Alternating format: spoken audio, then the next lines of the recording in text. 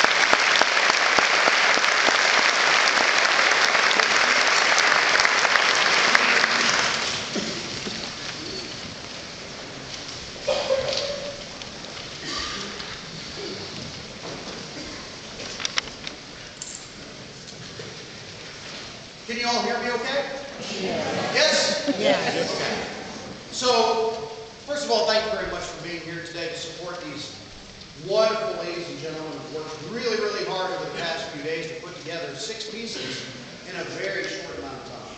So we're really anxious to present them for you. Uh, could not say more about their work ethic and what great people they are. It's been an absolute pleasure to be with you this weekend. The next selection we're going to play is a setting of a Scottish folk melody by one of our most beloved composers for wind band, Mr. Percy Grainger. This is The Banks and Braes of Bonnie Doon.